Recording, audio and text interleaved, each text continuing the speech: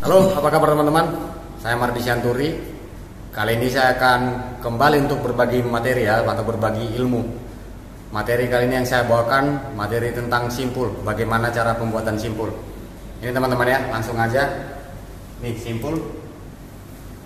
Simpul ada banyak teman-teman, ada ratusan kali simpul itu. Tapi untuk kali ini yang kita bahas adalah simpul-simpul dasar.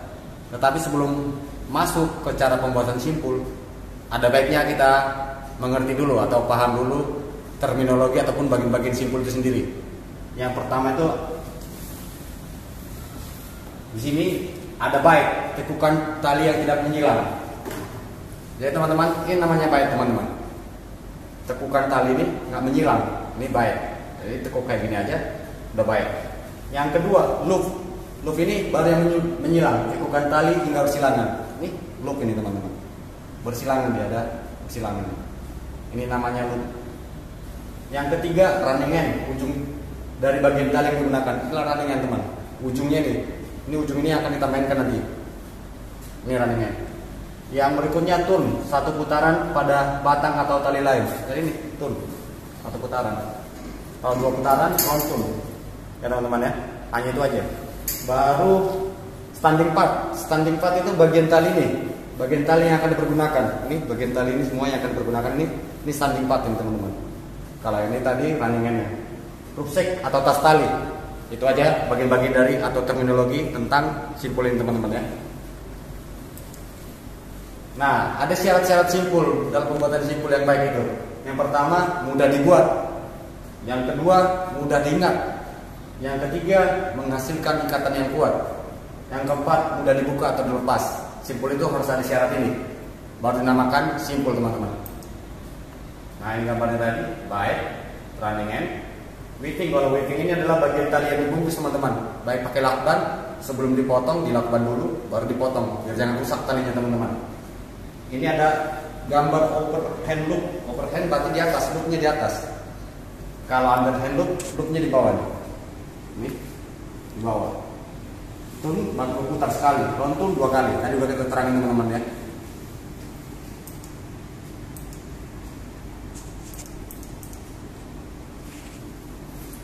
Nih, jenis ikatan simpul. Ada tum atau overhand knot gunanya sebagai simpul dasar dan pengaman simpul. Cara membuatnya teman-teman? Nih. Langsung kita buat aja. Loop. Nih. Setelah kita buat loop baru kita masukin. Jadi. Ini nanti untuk mengamankan tali atau simpul itu. Nih overhand atau tum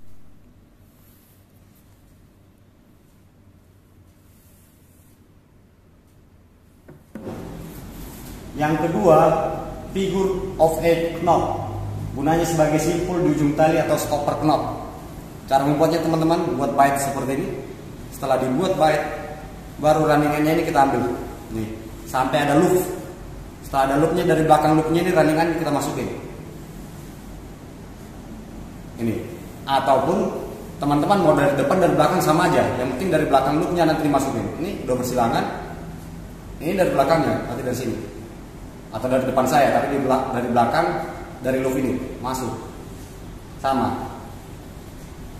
Kalau ini dari belakang saya ini atau dari belakang loop itu tetap dari belakang loop. Ini ada persilangannya yang penting ada persilangan dulu teman-teman. Randingannya ambil masukin dari belakang loop ini. Udah langsung jadi. Ya teman-teman ya. Nggak masalah mau dari depan atau dari belakang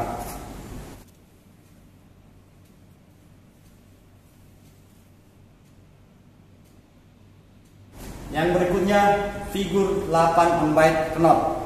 Gunanya untuk tambatan pada tiang atau sesuatu secara tidak langsung. Jadi ini. Nanti kalau membuat angkor pun bisa menggunakan ini. Ya kita buat bait dulu seperti ini teman-teman. Setelah dibuat bait, kembali bait ini lagi. Sampai double bait kayak gini ya teman-teman ya. Setelah itu ujung baitnya ini ujungnya kita ambil teman-teman. Jadi sama kayak tadi itu tinggal kita masukin dari belakangnya dari belakang loop. Sampai ada loopnya dulu teman-teman ya. Ini saya ulang. Di bait double bait kayak ini dimasukin dari belakang loopnya. Nah nih teman-teman. Jadi langsung. Ini nanti bisa diikatkan kalau ada angkor poin angkornya tinggal diikatkan. Masukin pakai karabiner tinggal diikatkan aja. Ini untuk pengaman talinya teman-teman.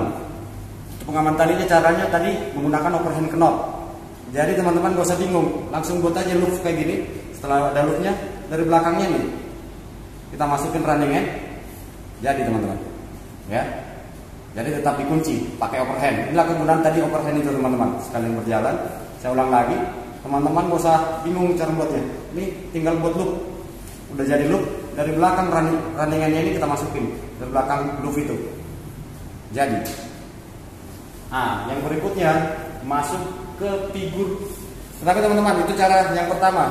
Ada teman-teman yang lain menggunakan cara bantuan jari. Nggak apa-apa cara yang kedua ini bantuan jari. Jadi menggunakan dua jari ini teman-teman tinggal kita buat loop seperti ini dibantu jari itu. Ini saya buat ya. Ini tinggal buat loop. Kalau udah jadi loopnya ini lebih santai lagi. Jadi tinggal masukin. Jadi tinggal dirapiin teman-teman ya. Nih. Ataupun ada juga teman-teman yang lain yang buat seperti ini. Udah dibuat double bite seperti ini teman-teman ya. Tinggal diputar. Ini satu dua. Habis itu ambil ujungnya ini. Jadi teman-teman. Tapi cara yang ketiga ini kadang-kala kurang rapi teman-teman. Malah mempersulit biasanya kadang-kala. Kurang rapi. Harus ngerapi-rapiin lagi dari awal. Jadi saya sarankan gak usah dipakai tuh. Walaupun cepat di awalnya aja cepat tetapi di akhir nanti tetap ngerapi-rapiin ya. Kalau bantuan jari itu memang lebih cepat ah, dan lebih santai. Nih langsung masukin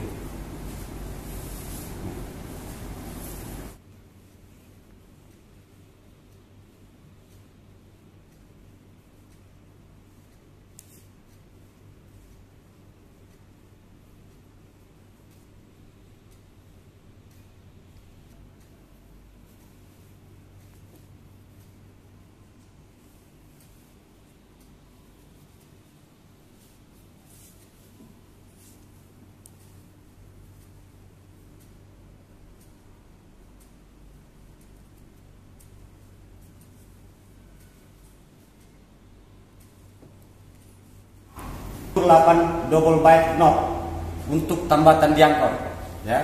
Jadi yang pertama ini kita buat dulu bite seperti ini. Setelah kita buat bite di bite lagi teman-teman. Kita buat lagi bite double bite seperti ini ya. Baru kita putarkan kayak tadi yang pertama ini. Tetapi ujungnya ini jangan dulu dimasukin dari belakang tetapi bagian tengahnya aja dimasukin. Bagian tengahnya sampai ada dua bite seperti ini keluar. Setelah itu ini ujungnya ini dimasukin ke dua bait tadi sampai dia ke arah paling bawah sekali dari simpul ini. Nah, jadi kayak tiga loop di sini ya. Habis itu jangan lupa teman-teman kunci, kunci kembali menggunakan overhand tadi. Overhand langsung kunci teman-teman. Ah, nih. Ataupun ada teman-teman yang lain mau cepat kadang-kala kalau talinya kadang-kala terlalu panjang agak sulit mutarnya teman-teman ya.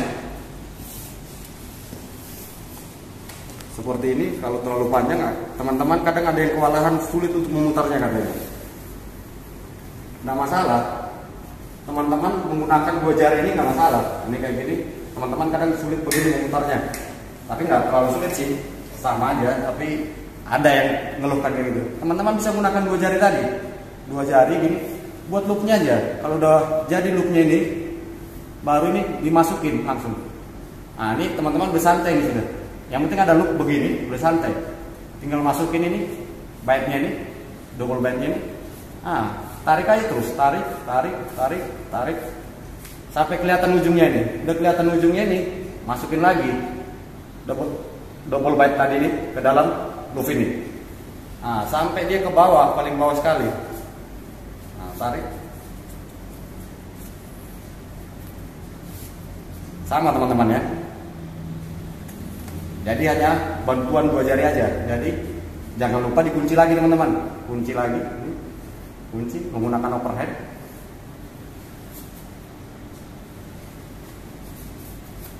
Kita buka lagi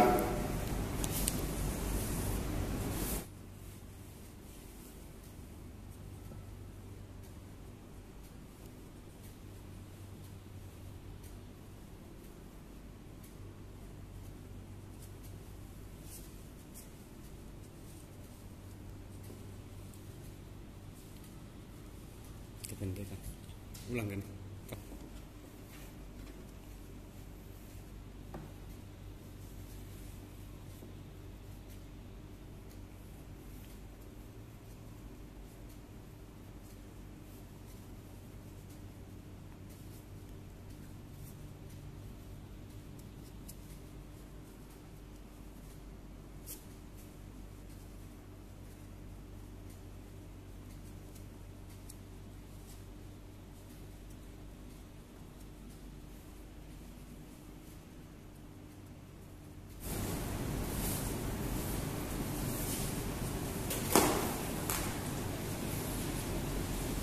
Selanjutnya, simpul selanjutnya butterfly knot.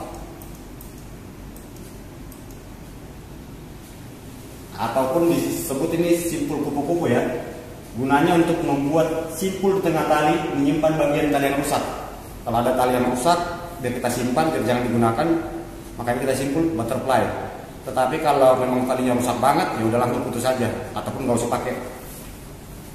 Jadi caranya Buat dulu seperti ini loop teman-teman. Ini loop.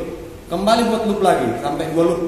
Setelah dua loop, nih diputar teman-teman. Diputar ke arah selangkangan ini.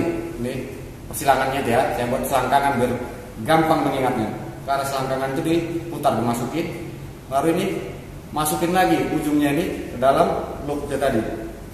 Persilangan di antara ketemu dua loop itu. Nah, baru tinggal dirapiin. Ini ya teman-teman ya.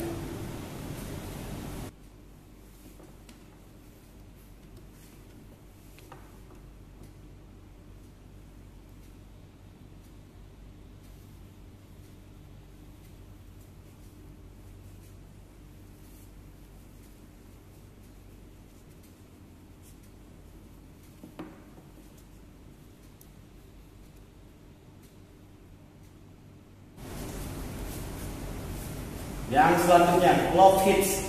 Gunanya untuk membuat simpul di pangkal ataupun simpul menjerat ya. Cloth hitch. Ini cara pembuatannya teman-teman. Ini teman-teman banyak yang kadangkala pada saat pemasangan cloth hitch ini lupa ingat lupa ingat.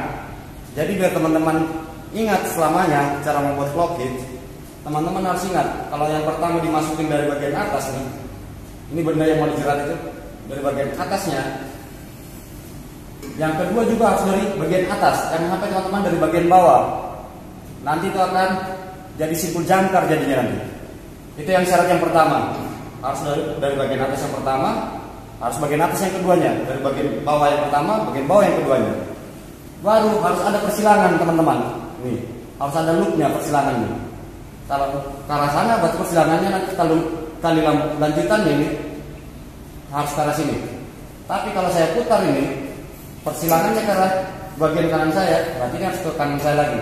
Ya teman-teman ingat, harus ada dulu persilangan ataupun loopnya, baru jadi. Jangan sampai teman-teman hanya baik aja di sini.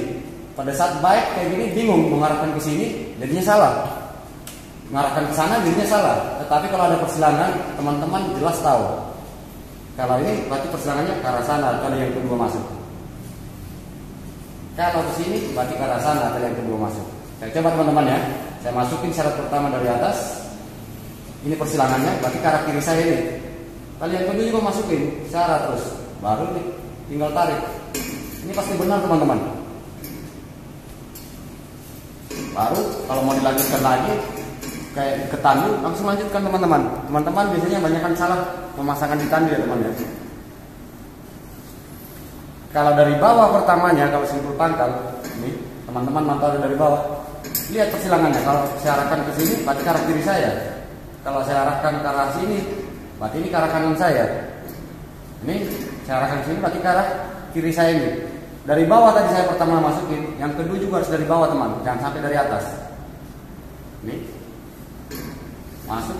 Ini tandanya jadi simpul pangkal. Ada persilangan di antara diapit. Tali ini diapit oleh dua tali ini juga. Tapi coba teman-teman saya buat ya saya agak perpanjang ini soalnya di sini banyakkan kesalahan kadang-kala membuat di tandu. Saya buat dari atas. Ini. Saya buat persilangan juga begini. Baru saya buat dari bawah. Apa jadinya? Simpul jangkar teman-teman ya. Nih. Begitu juga sebaliknya. kalau saya buat dari bawah ini saya buat dari bawah yang kedua dari atas ini yang kedua dari atas juga jadinya apa simpul jangkar juga teman-teman jadi ingat kalau yang pertama rantingannya dimasukin dari bagian atas yang kedua kali rantingannya juga dari atas. Kalau pertama dari bawah ya dari bawah. Baru yang kedua ingat persilangannya harus ada dulu. Biar ketahuan arahnya ke kiri atau ke kanan. Ya teman-teman ya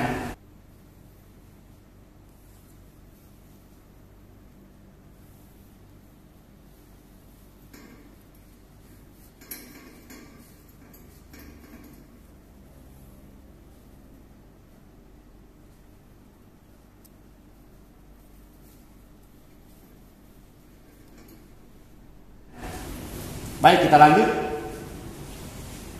Yang berikutnya, double fisherman knot. Gunanya untuk menyambung tali yang sama besar dan licin. Nah, ini untuk menyambung tali yang sama besar. Bisa nanti untuk cruising juga dipergunakan ini teman-teman ya. Jadi ini caranya teman-teman. Tinggal ada persilangannya dulu, untuk besar ini ada persilangan. Habis ada persilangan, teman-teman tinggal putar di jarinya dua kali ke arah belakangnya teman-teman ya ke arah belakangnya nih jangan juga ke arah depannya. Sekali dua kali. Habis itu masukin ke loopnya nih. Habis itu kembali putar teman-teman ya. Balikan langsung putar lagi. Nah, habis kayak gini baru balikan lagi sini. Nah, baru putar lagi ke arah dalam jempol kita ini ya. Sekali dua kali baru dimasukin lagi Nah, jadi seperti ini. Tanda yang benar dia kalau fisherman ini yang rata ini sama-sama rata, yang ini ketemu sama-sama pertemuan persilangannya itu pengikatnya ini ketemu. Yang rata bagian yang mulus ketemu sama-sama yang mulus, ini sama-sama mulus. Yang ininya sama-sama pertemuan persilangan ketemu. Ya itu baru benar. Jadi ini nanti bisa untuk cruising bisa kita buat dari rumah.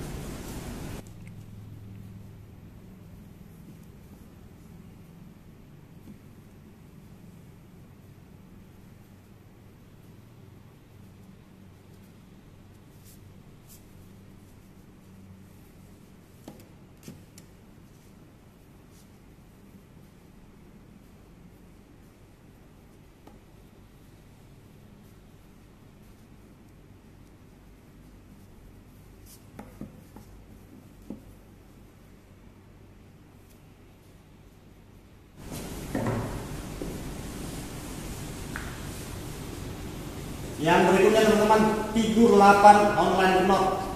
Gunanya membuat simpul di tengah tali untuk menggantung korban dan penolong tiga beban dua arah. Ya teman-teman ini ya. Teman-teman bayangkan ini. Inilah yang kantor ya teman-teman ya. Yang kantor. Jadi teman-teman nanti pada saat membuat ditandu contohnya ini membuat simpul inline pada saat membuat simpul inline, teman-teman harus tahu kalau mau arahnya ke bawah, biar yang kita pakai itu adalah arahnya ke bawah. Ini angker ya teman-teman ya. Jadi buat dulu loop seperti ini. Loop. Tetapi ingat, yang di atas overhand loop yang ini, yang overhand loop ya. Jadi tali yang dipakai ini ini di atas nih. Habis itu ujungnya ini kita ambil nih, ujungnya ini. Ini tinggal putar aja teman-teman. Ini masukin dari bawahnya, putar. Nah, diputar teman-teman ya. Putar tinggal masukin ke loop yang ini. Jadinya jadi, dia arahnya ke bawah. Jadi ada dua beban yang di, ini ada dua arah ya, arah ke bawah semua ini, satu, dua. Arah ke atas ini bukan arahnya ya, tapi tiga beban, satu ke korban, satu ke penolong, satu lagi ditahan oleh angkor ini. Jadi tiga beban dia teman-teman, satu, dua, tiga. Tiga beban ditahan tali ini, tapi arahnya cuma dua arahnya. Ini dua tali ini arahnya. Semuanya mengarah ke bawah ya, satu, dua ya. Makanya dibilang inline di tengah tali dia segaris. Saya ulang teman-teman di sini biasanya kesalahan pada saat pembuatan inline teman-teman. Rata-rata teman-teman arahnya ada yang ke atas ada yang apa lupa-lupa ingat jadinya. Jadi ingat tali yang digunakan ini ke arah korban ini ataupun ke arah penolong ini yang tumpukannya di atas teman-teman. Kalau sudah buat ke bawahnya kayak gini baru putar sekali aja diputar tinggal putar ini masukin ke loopnya nih. Dia pasti ke bawah teman-teman. Pasti jadi ya. Nanti kita buat di video kecil-kecilnya nanti teman biar lebih jelas.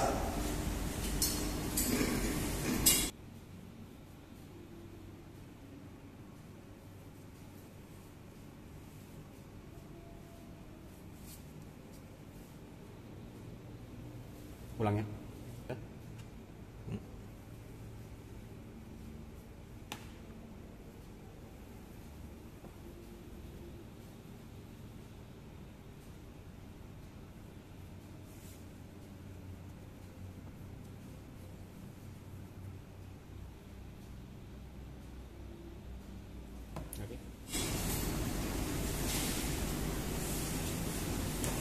Berikutnya bolen, gunanya untuk menyimpul tali yang tidak menjerat. Nih, pada saat ditandu nanti bermain di tandu nanti pada saat ada nanti lain waktu kesempatan teman-teman ya. Kita akan bermain di lapangan, nanti saya tunjukin bagaimana caranya pemasangan bolen di tandu. Bolen ini sifatnya tidak menjerat atau mengikat kambing pun kita bisa gunakan simpul bolen ini. Ini teman-teman, yang perlu diingat overhand loop ini overhand loop pada saat overhand loop dia masukin dari bawah.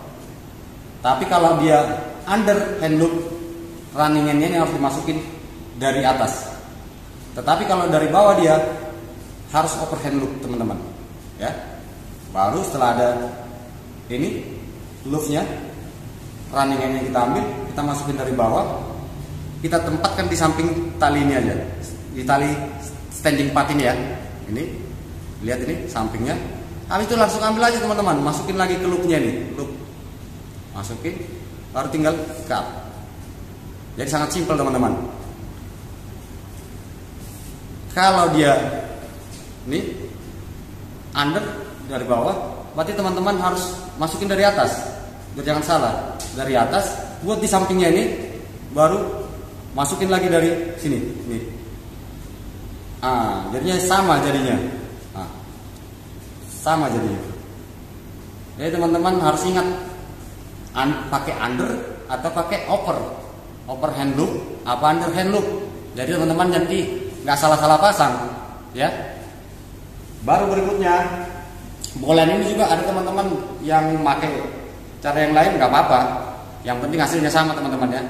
Ada teman-teman gak usah pakai loop dia hanya sisakan tali seperti ini jari saya seperti ini ini langsung ditempelkan dia aja. Ditempelkan begini jadi nggak usah pakai loop. Ini langsung ditahan oleh jari tahan langsung putar putar. Jadi kemakan waktu lebih cepat nggak ada buat buat loop. Tinggal teman-teman main di jari aja. Kalau udah terbiasa ini jari langsung tempelkan begini. Ini langsung dibantu oleh jempol begini. Ah ini langsung mainkan ini. Mainkan baru masukin. Jadi nggak ada buat loop ya. Tapi belum kalau belum terbiasa ya biasakan aja buat loop teman-teman begini pertamanya.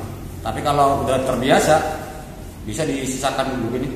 Langsung tempel sekali lagi saya ulang langsung ini dimainkan nih jadi tangan jempol ini juga langsung nyatukan gitu. Ini putar tinggal masuk. Jadi lebih cepat waktunya teman-teman. Ya. Ini boleh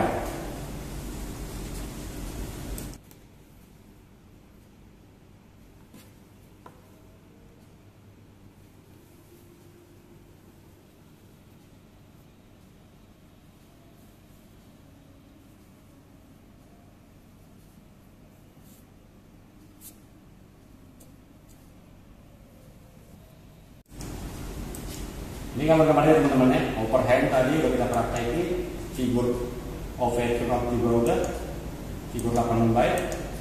Tinggal satu lagi teman-teman. Di figur 8 nya tadi ada lupa satu lagi. Membuat kalau ada tambatan contohnya di pohon besar, nggak bisa kita masukin kita tolkan tadi, bisa menggunakan follow throw. Ada kelewat tadi satu follow throw. Yang pertama simpul 8 dulu kita buat ya teman-teman ya. Simpul 8. Kita buat simpul 8. Habis kita buat simpul 8 seperti ini teman-teman. Tinggal kita tambahkan ke pohon. Contohnya ada pohon besar ataupun begini ataupun di sini sama aja. Tinggal kita tambahkan. Nah, ini ini through, mengikuti ini alurnya ini semua teman. Jadi lihat aja, alurnya ini diikutin. Masuk di ini alurnya masuk, tinggal putar. Jadi kita praktekin teman-teman ya. Runningannya ini kita ikutin. Ini talinya kita masukin. Berdampingan aja teman-teman buat. Ah ini. Dia berputar ke sini, membentuk loop dia, kita putar aja, bentuk loop lagi. Nah, baru masuk dia, masuk kita masukin lagi. Tinggal ngikutin teman-teman.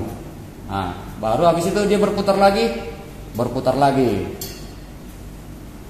Baru kita masukin ke dalam. Baru kita rapiin. Tapi jangan lupa teman-teman dikunci ya. kalau bisa kunciannya ini sampai ada sisa 7 cm minimal ya 7 cm jadi rapi. Ini kurang ya teman-teman ya. Jangan diikutin ya.